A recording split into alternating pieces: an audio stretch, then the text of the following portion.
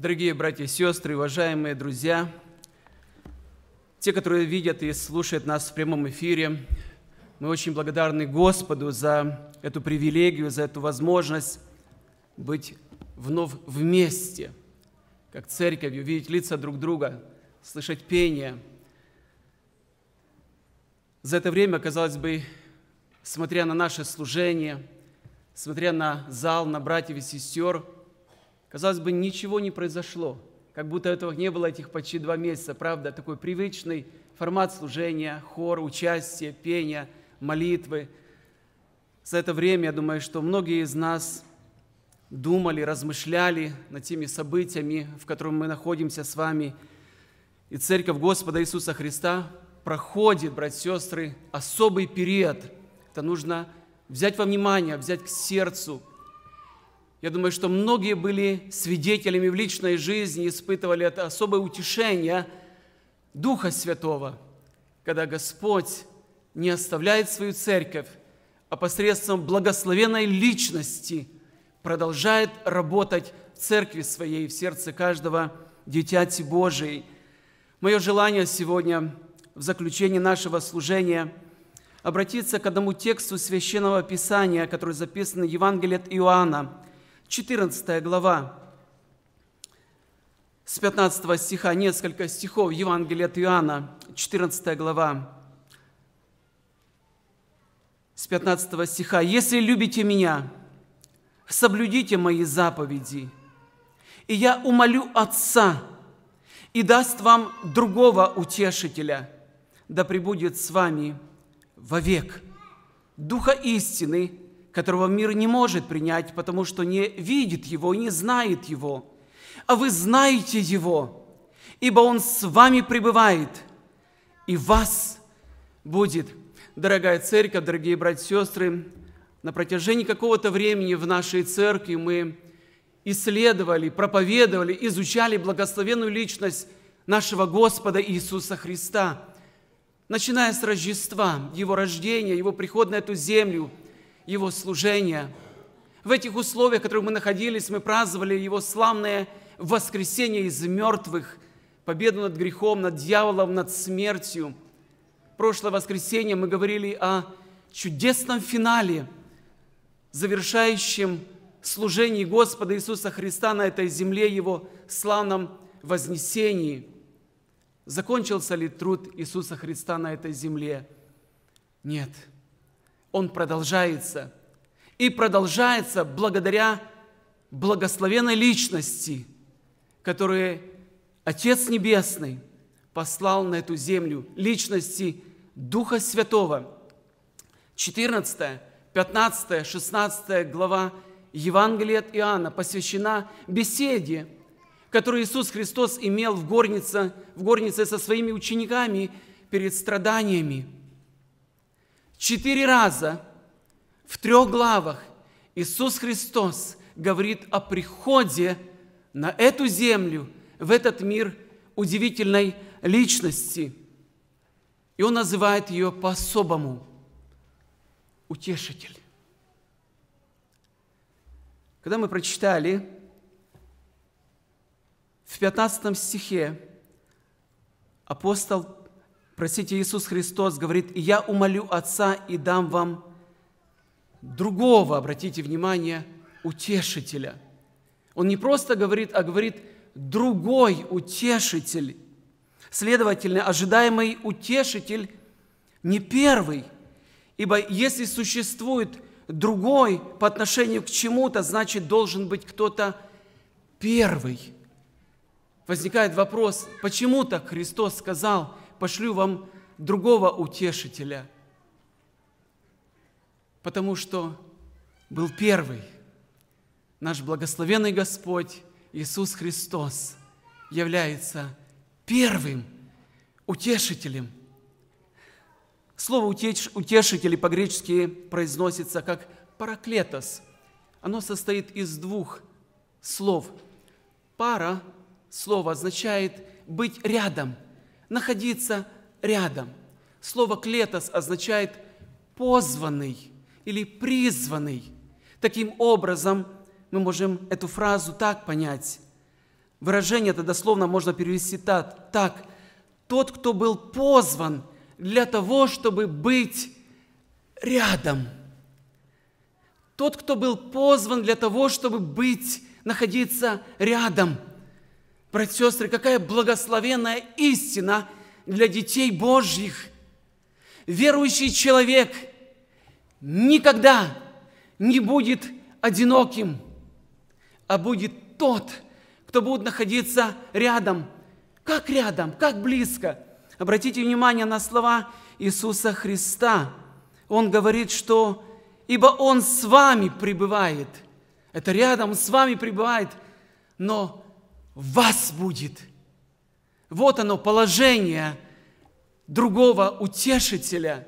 Братья и сестры, почему же другой утешитель? Несколько слов о первом утешителе, потому что мы не так часто обращаем внимание – на служение Господа Иисуса Христа как утешителя. Ветхозаветные праведники, пророки связывали пришествие Иисуса Христа, пришествие Мессии для своего народа именно с таким служением, как служением утешителя. Когда мы обращаем внимание на пророка Исаия, 40, 40 глава, 1 стих, пророк говорит так – он когда говорит, говорит о приходе Мессии чуть дальше, но начинает эта глава так. «Утешайте, утешайте народ мой, говорит Бог ваш, говорите к сердцу Иерусалима и возвещайте, что исполнилось время борьбы его, что за неправды его сделано удовлетворение, ибо от руки Господней принял вдвое за все грехи свои. Утешайте, утешайте народ – мой, говорит Господь. Помните старец Симеон, который находился в храме. Священное Писание говорит, когда он ожидал Господа, он не ожидал мщения врагов, чтобы Господь послал какую-то, знаете, болезни или проклятие, или какую-то, знаете, еще что-то на врагов для народа своего. Нет, написано, что он чаял утешение для Израиля – и Дух Святой был на нем. Когда Иисус Христос пришел на эту землю, Он был тот первым истинным утешителем, который утешал разбитые сердца, утешал плачущих. И хотя искупление на Голгофе совершилось, доступ к престолу благодати открыт, и всякий, кто призовет имя Господне, спасется – по благодати веру Иисуса Христа, братья и сестры, Иисус Христос знал, сколько церкви Его, сколько верующим людям на этой земле придется проходить путем, путем скорбей, переживаний, гонений, одиночества, болезней, смерти. И вот поэтому Он говорил, лучше для вас, если я пойду. Если я пойду, я упрошу Отца, умолю, Он пошлет вам утешителя, который прибудет с вами вовек. Это очень важно, братья и сестры. В этом мы видим особая работа, особое служение и взаимоотношения Святой Троицы. Иисус Христос совершает свое искупление на этой земле, совершает свою удивительную работу, возвращается к Отцу, который возлюбил, возлюбил этот мир – и Отец Небесный посылает на эту землю другого утешителя, ни ангела, ни пророка, третью личность Божества, Духа Святого, который будет продолжать на этой земле работу Иисуса Христа. И Он будет не где-то, братья сестры, Он будет в каждом из верующих людей, в каждом дитяте Божий, с начала Его духовного рождения, Его спасения – будут сопровождать его жизнь. Как долго? До конца, до последнего дыхания. Иисус Христос в 18 стихе говорит такие слова, «Не оставлю вас сиротами, приду к вам. Еще немного, и мир уже не увидит меня, а вы увидите меня. Ибо я живу, и вы будете жить».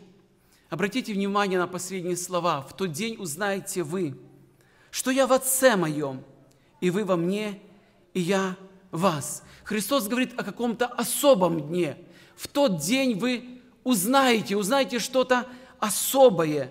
Что это за день был для апостолов, для учеников? И сестры, несомненно, мы видим в Священном Писании, что это был день сошествия Святого Духа на апостолов. Помимо тех свидетельств, которые мы видим в Священном Писании, в книге Деяний апостолов, то, что апостолы говорили иными языками, проповедовали людям окружающим. Когда сошел на них Дух Святой в виде огненных языков, братья сестры, но что-то произошло невидимое для человеческого глаза. То, что пережили они лично, братья и сестры, Христос говорит, вы узнаете.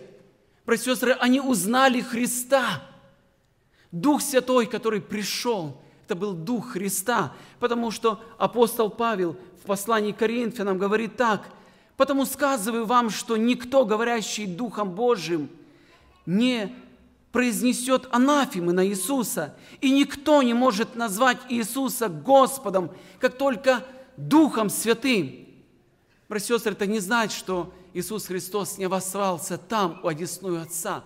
Это говорит о глубоком единстве – между Духом Святым и Господом Иисусом Христом, который пришел. Вот почему они узнали, они пережили глубоко внутри вот это откровение, о котором говорит Иисус Христос. Вы узнаете, что я в Отце моем, вы во мне, и я нахожусь в вас. Это было благословенное переживание апостолов, которые они пережили в день Пятидесятницы – братья и сестры, на трех, а, в этих трех главах Иисус Христос говорит о четырех истинах драгоценных служения вот этого утешителя, который послан для детей Божьих. Очень кратко хотел бы остановиться на этих драгоценных истинах.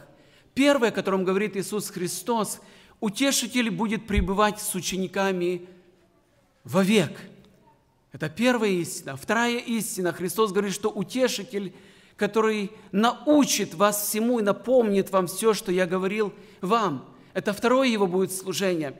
Третья истина. Утешитель будет свидетельствовать об Иисусе и будет наставлять учеников на всякую истину. И четвертая истина. Утешитель будет обличать этот мир о грехе, о правде и о суде четыре кратких истины. Первое. Христос говорил, что утешитель придет, как мы говорим, и он будет настолько близко, что будет пребывать в каждом из детей Божьих, будет пребывать внутри, будет сопровождать, будет поддерживать, будет утешать. Тот, кто находится, будет рядом. Братья и сестры, за этот период времени – когда дети Божьи проходят свой особый путь, я думаю, что каждый из нас мог испытать это благословенное утешение Духа Святого, который не оставляет каждого из нас. Дух Святой настолько любит нас, настолько способен давать это личное внутреннее укрепление, утешение, ободрение через Его Слово, в молитве, личное прикосновение. Мы видим это в истории Священного Писания. Книга Деяний апостолов, 9 глава, 31 стих, описывается о которое переживала церковь. Обратите внимание, и в 31 стихе, там, где обращение Савла есть, но в дальнейшем, вокруг этой всей ситуации, когда церковь была гонима, мы читаем, церкви же по всей Иудеи, Галилеи Самарии были в покое – назидаясь и ходя в страхе Господнем. И обратите внимание, последние слова этого текста. «И при утешении от Духа Святого умножались». Здесь происходит гонение, казалось бы, терзает Савл церковь, только что он обратился, в этой главе мы видим, но что-то особенно происходит. При утешении от Духа Святого церкви умножались. Каким образом, братья и сестры, мы видим это личное утешение, подкрепление, ободрение, та личность, которая может находиться в каждом из детей Божьим. Это большое благословение. Есть одно но, братья и сестры, когда мы можем сами себя лишить этого благословенного утешения. когда на подмену личности Духу Святому мы можем избирать себе какие свои источники утешения, человеческие. Мир сегодня находится в особом волнении, переживании. Братья и сестры, есть опасность подвергнуться этому потоку информации, снова, знаете, вовлечься, быть вовлеченным в какую-то суету, какие-то страхи, какие-то подозрения. Братья и сестры, есть истинный источник утешений, о котором Христос говорил. Он с вами пребывает и вас будет вовек, до конца. Дадим возможность, друзья мои, этой драгоценной личности – пребывать в нас, укреплять и утешать, несмотря ни на что. И тогда вместе с Давидом мы можем сказать в 85-м псалме, 17 стих, «Ты, Господи, помог мне и утешил меня». Да поможет нам Господь помнить, Дух Святой проведет, утешит, поддержит до конца, до последнего – дыхание нашей жизни на этой земле. Вторая краткая мысль, истина, о котором Господь Иисус Христос говорил своим ученикам, Он говорил об утешителе, который научит вас всему и напомнит вам все, что я говорил вам. Вот это греческое слово «параклетос» имеет широкое значение. Оно еще переводится, его можно говорить об этом как тот, кто будет находиться рядом, который будет учить учитель. Перед учениками находилась большая задача. В прошлом рыбаки, неопытные, не имеющие образования, им необходимо было благовествовать, им необходимо было нести благую весть. Кто может справиться с этой задачей? Кому это под силу? Братья Христос дает утешение, дает ободрение, дает обетование. Обратите внимание, снова Он говорит вот это слово драгоценное – утешитель. Он научит вас всему. Он напомнит вам все, что я говорил вам. У апостолов, учеников не было еще завершенного Писания, не было возможности идти учиться в библейскую школу, не было возможности где-то проходить обучение, братья и сестры. Кто был их учитель? Учитель, утешитель, который удивительным образом наставлял – приводил на память слова Господа Иисуса Христа, и мы видим в Священном Писании в день Пятидесятницы, исполненный Духа Святого, исполненный силы, влекомые и поддерживаем утешителем, учителем. Они идут и продолжают дело Господа Иисуса Христа. Обратите внимание, как Дух Святой служит ученикам – Иисус Христос говорит, 16 глава, в 13 стихе, что роль учителя, утешителя очень ясна и очень четко поставлена у него цель.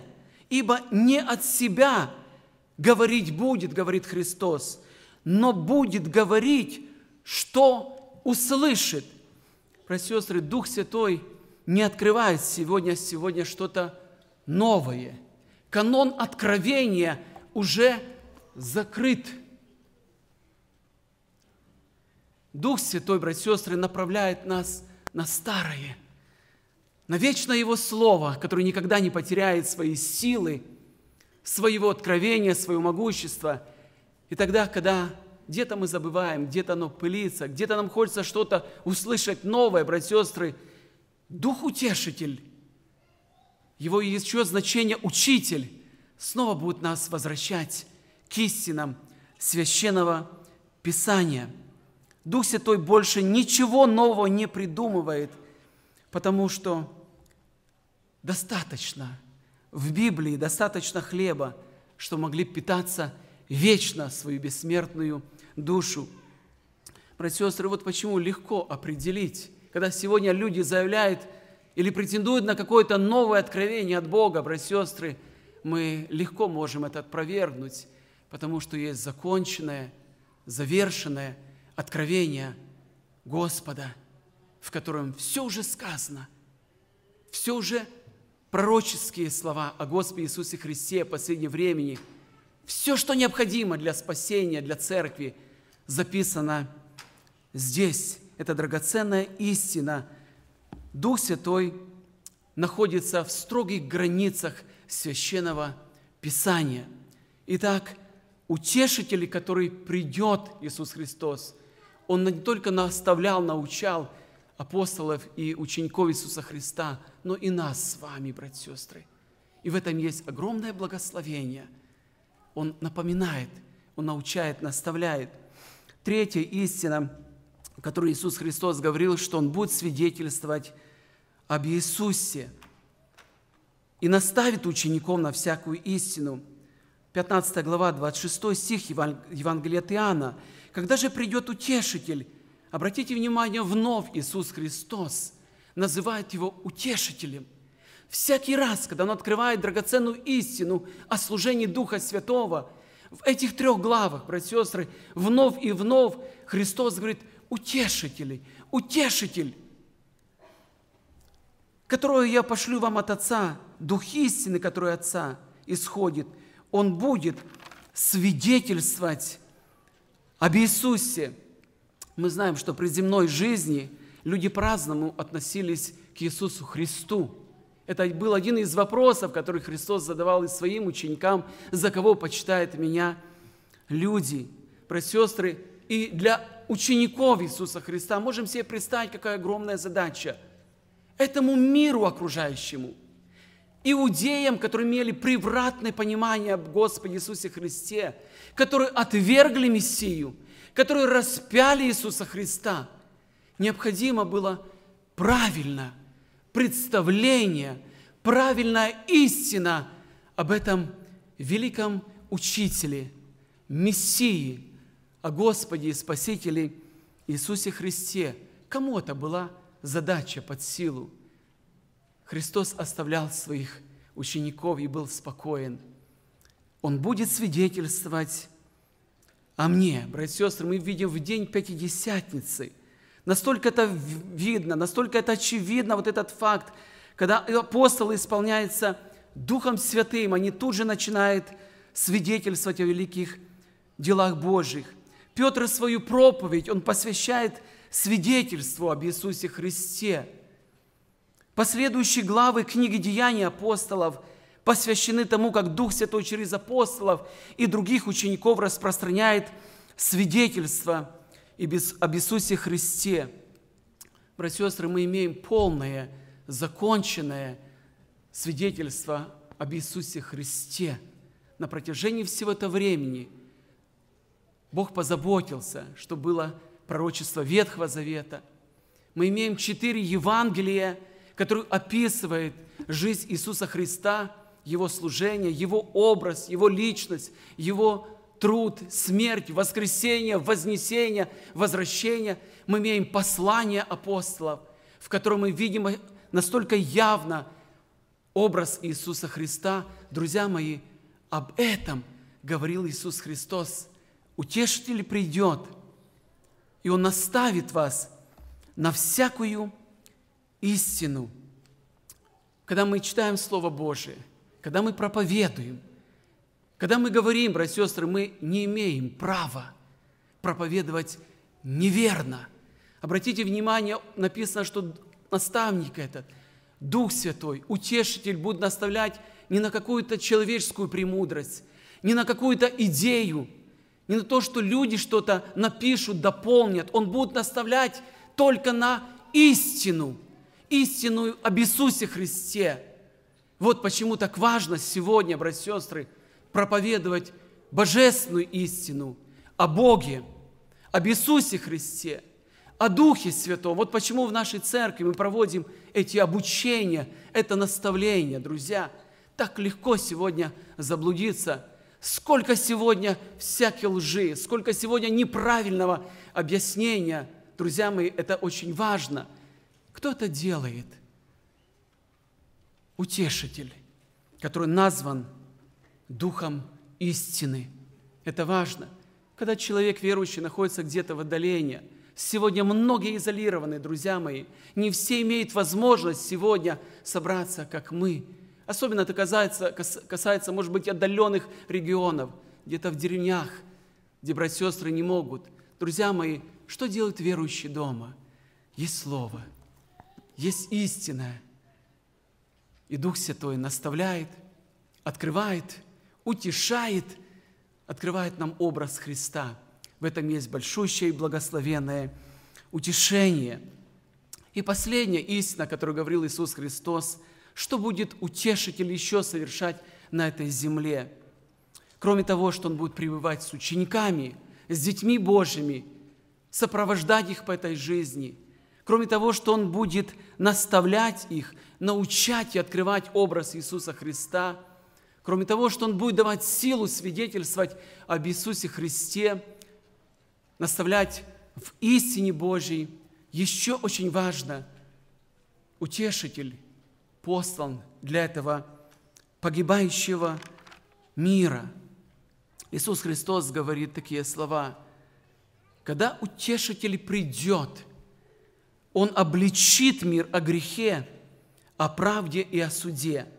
О грехе, что не верует в меня, о правде, что я иду к Отцу моему и уже не увидят меня, и о суде же, что князь мира сего осужден. Слово «обличать» имеет несколько значений. Синоним это слово – это разоблачить или открыть, или сурово укорять. Обратите внимание, сегодня мы слышали стихотворение, вот на фоне этого прекрасного образа Духа Святого, который сошел на Иисуса Христа в свое время, во время крещения, как голубь. Не случайно показан вот этот образ его. Всегда, когда мы смотрим на личность Духа Святого, друзья, это как тихое веяние ветра. Дух Святой никогда не кричит. Дух Святой никогда не будет, но Он будет совершать свою тихую, незаметную, но очень важную работу. Он будет открывать, Он будет разобличать, Он будет сурово даже укорять по отношению к этому миру – как мы говорим сегодня и читали сегодня в начале, апостолы, простые люди, которые перед воскресением Иисуса Христа в момент страданий, в момент испытаний оставили Господа, разбежались, потому что были люди обычные. Но что происходит в день Пятидесятницы? Что произошел в день сошествия Святого Духа? Исполнились, написано, Духа Святого и начали провозглашать истину – провозглашать о великих делах Божьих. Люди, которые пришли со, со многих мест, они слышали эту истину, друзья. Она их обличала. Эта истина изобличала их жизнь, их грех. Самое великое, что делает Дух Святой по отношению к грешника, Он открывает правду о его истинном состоянии, обличит о грехе. Вот главная цель Никогда человек не придет к познанию истины, никогда человек не будет спасенный, если Дух Святой не откроет его истинное состояние о том, что он грешник и нуждается в искупительной жертве Господа Иисуса Христа. Мы видим, как апостол Петр с дерзновением исполненный проповедует, друзья мои, сотни и тысячи людей находятся перед ним – Друзья мои, какая смелость, какое дерзновение. Обратите внимание, как апостол Петр говорит, 36 стих 2 главы. «Итак, твердо знай весь дом Израилев, что Бог соделал Господом и Христом всего Иисуса, которого вы распяли. Он не заигрывает, Он не пытается их успокоить, Он не пытается их как-то, знаете, привести в какие-то отношения. Он говорит, вы распяли вы виновны. Какая сила Духа Святого. Какой результат, когда Дух Святой обличает и открывает грех. 37 стих. Услышав это, они умилились сердцем и сказали Петру и прочим апостолам, что нам делать, мужи, братья? Сестры, вот истинная работа Духа Святого. Человеческое сердце – смягчается. Человеческое сердце под работой Духа Святого открывается и задает вопрос, что нам делать. Петр же сказал, покайтесь, и докрестится каждый из вас во имя Иисуса Христа. братья и сестры, три драгоценных истины, которые мы сегодня обращали внимание, как-то понятны. Дух Святой будет с нами вовек, утешать, ободрять. Дух Святой будет свидетельствовать, напоминать об Иисусе. Все, что Он делал, это Он делает на протяжении всех этих веков. Дух Святой будет открывать божественную истину. Но вот четвертое, братья и сестры, как-то утешитель и грешники. Утешитель и погибающий мир. Удивительно, братья и сестры, я когда смотрел, я поразился вот этой роли, этой личности. Для грешника нужен тоже утешитель, который покажет ему истинного Христа. Мы, люди, можем бичевать, мы можем грешников, знаете, склонять, можем ругать, можем говорить об аде, о наказании, но как-то несовместимо по-человечески. Но Христос и здесь говорит, обратите внимание, когда мы читаем, «Я истину говорю», когда Он говорит об э, утешителе, об, а для, для этого мира, я пошу, если я пойду, утешитель не придет. А если пойду, пошлю ее к вам, и он придя, обличит и мир – о грехе и правде о суде. Утешитель и погибающий мир. Казалось бы, несоответствие. Братья и сестры, такова сущность святого праведного Бога. Для погибающего грешника нужен тоже утешитель, который откроет ему драгоценный образ Христа. Дорогая церковь, дорогие братья и сестры, так хотелось сегодня, когда мы собрались вместе – склониться на, перед нашим Господом, в наших кратких молитвах поблагодарить за вот это служение, которое совершает наш чудный утешитель, который не оставляет нас с вами ни при каких обстоятельствах. Так хотелось бы, чтобы в нашем сердце был Он, истинный утешитель, не что-то другое, не какие-то другие земные источники утешения, но Он, который проведет – который поддержит и который соединит нас с нашим Господом в свое время, когда Христос придет за свою церковью. Да поможет нам Господь любить, ценить и благодарить Господа за этот великий дар и в кратких молитвах прославить Его за это. Аминь.